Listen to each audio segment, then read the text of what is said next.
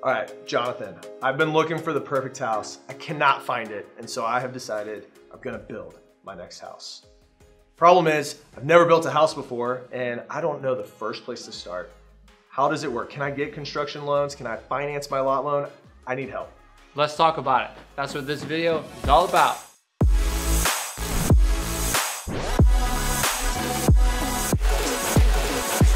All right, so Jonathan, there's probably a lot of people out there right now that are thinking, whether it's because of inventory or something else, that they just need to build instead of buy. Yeah, can't find it. A lot of people make the mistake though of getting the cart before the horse. We wanted to shoot this video to make sure that you don't make the mistakes that we're seeing a lot of other people make. We want to start with the end in mind.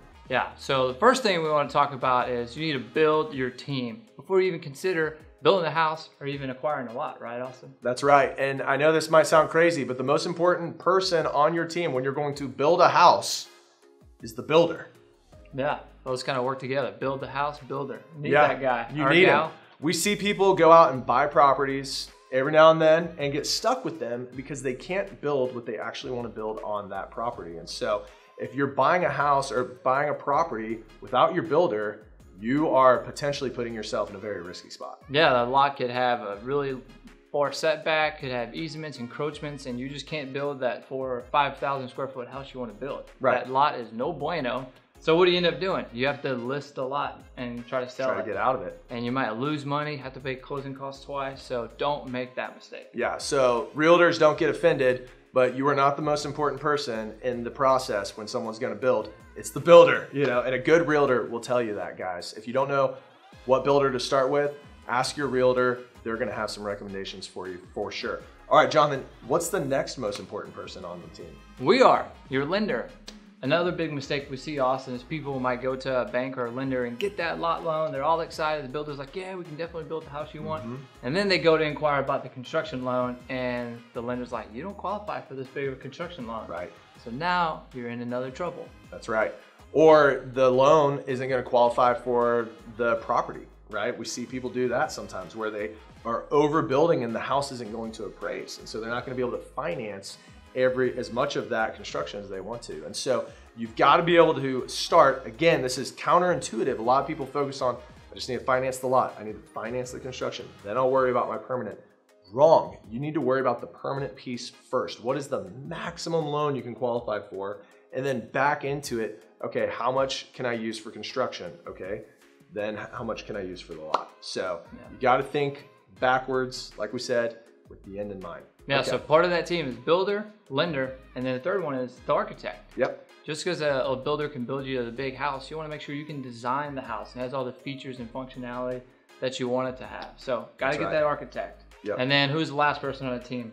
Well, our favorite, the realtor. And For so, sure. if you don't have the realtor picked out, definitely need to get a realtor on your team that is working with your builder and your architect to find that property that will fit the house that you're wanting to build. So, realtor is a super, super important part of the team. So now, once you have your whole team together, you're in a position to go out and do what? Buy a lot. There we go. So step two is buying the actual lot. And there's two ways to do that, Jonathan. What are they? You can pay in cash or you can get financing. That's right. So if you don't have the money to buy the lot in cash, or maybe you do and you want to hold on to your liquidity, then a lot loan can be the way that you acquire that property. What do those look like typically? Yeah, I mean, we're big fans of lot loans because like Austin always says, when you're building a house, keeping your personal liquidity is very important. And so you want to try to leverage where you can. And on a lot loan, depending on how much you need, we can go up to 85% or 75% loan to value. So we can do massive uh, lot loans, but you need to bring some money. And that's a mistake a lot of people have. I have people call, I want to buy a lot and build a house, and they don't have much money. It's like you right. might only have 5%. You need to buy a house. But if you have 15 or 25%, that's going to be the down payment requirement for that lot loan in most products. Yep. And if you only put the minimum down on the lot, you should be prepared that in step three, you might need to bring some more money to the table.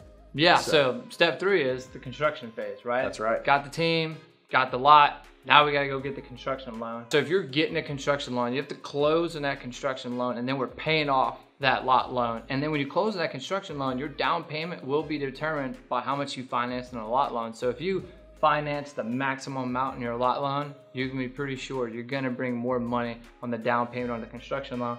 But if you only borrowed 50% or maybe you bought the lot in cash, then you have a strong possibility of 100% financing the construction. That's right. That's right.